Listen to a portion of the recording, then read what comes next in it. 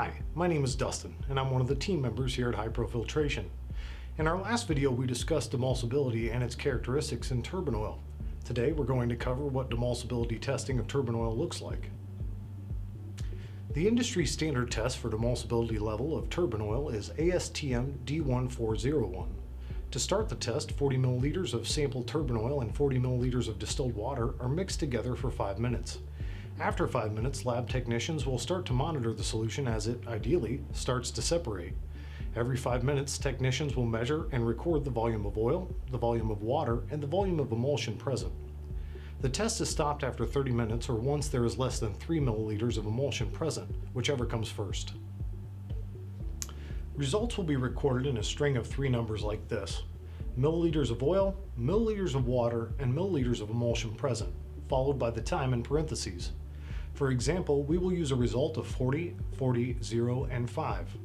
This would be a test with perfect emulsibility. There's 40 milliliters of oil, 40 milliliters of water, separated with zero emulsion present after 5 minutes. If 30 minutes had passed and there was still emulsion present above 3 milliliters, then the test could look something like this. 25, 20, 35, and greater than 30. This would mean that the mixture was left to separate for 30 minutes, but there was 25 milliliters of oil, 20 milliliters of water, and 35 milliliters of emulsion. This would be considered a stable emulsion and bad emulsibility. Typically, turbine oil with stable emulsions, like in our second example, would be condemned.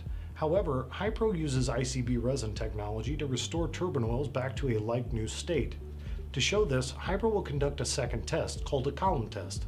In the second round of testing, the oil is put through a lab scale ICB treatment to see if the oil responds positively to ICB technology.